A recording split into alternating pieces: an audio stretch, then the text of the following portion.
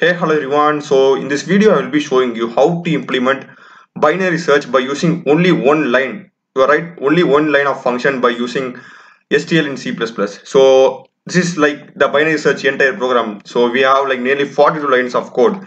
So I am going to show you how we can implement this 42 lines of code by using a simple one line function that is with the help of STL so here I have here like a simple vector over here okay so for binary search, you can know the input array should be sorted and then only we can apply binary search. Otherwise, like we need to sort the array or a vector and then only we can like perform binary search because it works on the principle of eliminating the higher and lower values of the midterm, okay, comparing the middle and the number we are searching. So first thing what you need to do is we need to include the header file. So you can include like the entire thing as well and or if you want only to include the thing for binary search we can do with as include algorithm okay? So this is the header file for binary search. So here i'm using vector. So i will just copy this and i will put for vector okay? It's fine. So for binary search it's like really simple. What we are going to do is just put c out. It's going to be binary underscore search okay? So before going to that uh, before in the previous video i have said you that like there are four components in STL. One is like containers, algorithms, functors and iterators and this binary search comes inside the algorithm component. So that's why we are in including algorithm. So here it's like uh, we will be passing the uh, let me just write the syntax first okay it's going to be binary underscore search start uh, position end position and the element that we are searching. Okay this is the, the syntax. And these positions are we are going to give by using the address reference or the iterator. That is uh, here it's we are using v so it's going to be v dot begin and here it's going to be v dot end or like anything v dot begin plus one and this can be also like v dot begin plus 5 it can be anything but we are we will be using only iterator or address reference positioning over here. And this is the element that we are going to search so this is the syntax. So let's do it over here as well. So i'm going to put v dot begin.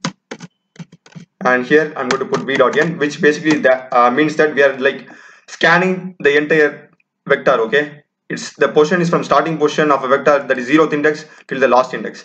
And let's let's search here 3 okay? And my vector is sorted. I am just giving the input vector sorted in ascending order itself. Like so only if the, uh, the vector is sorted or array is sorted, I will show you array as well in next example.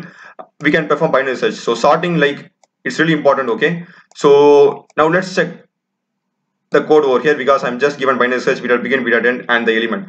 So if I run it now, I'll be getting the output as one. This means that my element that that I'm searching is present in the vector. So it does not give the index of the element. Okay present vector just gives the whether element is present or not. So true or false basically one represents uh, the element is present in the vector and zero will represent the element is in present in the vector. So if i just put 7 7 or 9 put 7 okay. So now if i just run it i will be getting the output as 0 which means that my element is in present in the vector. So for this like you can just place it inside of if condition okay. Just place it inside if condition over here and can just put over here can just see out. Found. Else can just put else and see out. Not found. Okay. So for linear search the time complexity was o big o of n okay? For binary search the time complexity will be always uh, big o of log n okay log n time comparison. So here also the same time comparison because it will perform some backend function. So the only advantage is that the time complexity is going to remain the same. Whether we are using this code this full code or we are typing this single line the time complexity is going to be log n itself.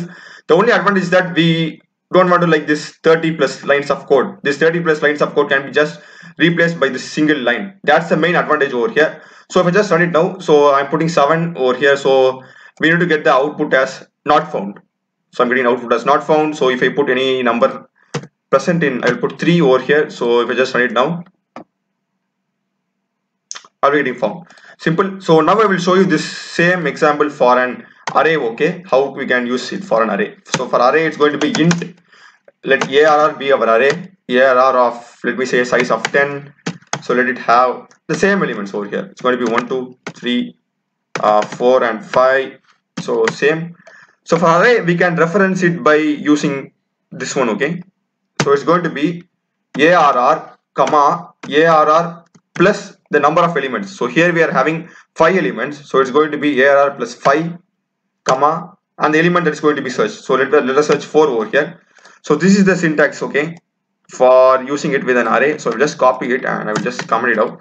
This is the syntax. So this corresponds to the address reference of the zeroth index. Like when you are like storing a particular pointer anything like uh, if you are putting int asterisk uh, ptr equal to arr so this basically corresponds to the address of the zeroth index okay? So that's what same thing. This is address of the zeroth index and arr plus 5 will represent the last index. So we're just passing reference address references here also. We can't give like positions over the index like. So now if i just run this code so we'll be getting found over here. Found so you can ask me why we can't put arr dot begin. And uh, you can put here error again it will definitely show an error okay? So let me just try that also. It will definitely throw us an error over here. It throws an error because err isn't a component of stl vector is only a component of stl so there we can be using so vector only we can use v dot begin and v dot end. So this is for like uh for arrays you can use this with arrays vectors anything you can use this function. So another operation as well what if our uh, vector isn't sorted at first itself? So let's do that as well. So i will just change it to v dot begin just change it to v dot end and we just put a number of 10 over here. So okay so i'll just change my input vector. So i'm changing it to like 2 10 30 500 1 0 okay so this is like random numbers that are not that are in sorted in ascending or descending order. So what will happen now is that if i just run it now so we are searching 10 so if we are lucky we may get the output as 1 okay it's showing not found. So it's really simple. So but 10 actually is present in the vector. So here our binary search fails. The main reason is that our input vector isn't sorted. So what so you can't expect the binary search algorithm to first check whether our input vector array is sorted and then search. It just searches it okay? It's our responsibility or duty to first sort our uh, input vector or our container. So we need to just sort it okay? So for sorting it's like really simple. Sort of v dot begin comma v dot end plus 1 and for for arrays also it's going to be the same thing. So for array it's going to be sort. So we'll just replace it by this thing. So we can just replace this by this code. This is how to sort array the first reference and the last reference that is plus the number of size of the array. This is so now we have sorted our vector successfully and now we are putting 10 over here same thing I've just sorted the our my vector. So now we'll get the uh, output as found. So another thing what we can do is we can like change the position over here. So let me just comment this as well. So let me just change it to a sorted one okay? Let me put 1 2 3 4 5 6 7 8 okay? So now what i'm going to do is i'm going to search a number within this range within this five numbers. Let's consider okay five numbers. So it's going to be v dot begin plus 5 this corresponds to zeroth index till the fifth index i guess zero till the fourth index okay sorry i'm sorry till the fourth index so it's going to be zeroth index, first, second, third, and fourth index. So this is our range, okay? That is from zeroth index till the fourth index.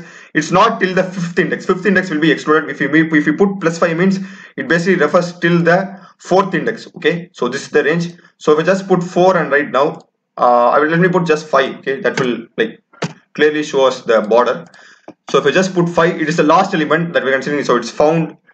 So this is still this one. So if i just put 6 now uh, it will show it will show not found. That's it. So it's really simple okay? Even though our 6 is present in our vector here we have specified a range. So it just works based on our range. So i hope you would have found this video useful. I have also done a tutorial about vectors and set and iterators in stl so you can also check that video so i will be also doing more other uh, programs about STL in C++. So do subscribe my channel and I also done many other programs in C, C++, Java, Python, Blender is 3D animation Unity. So do check out the videos of my channel, subscribe and support me. Thanks for watching.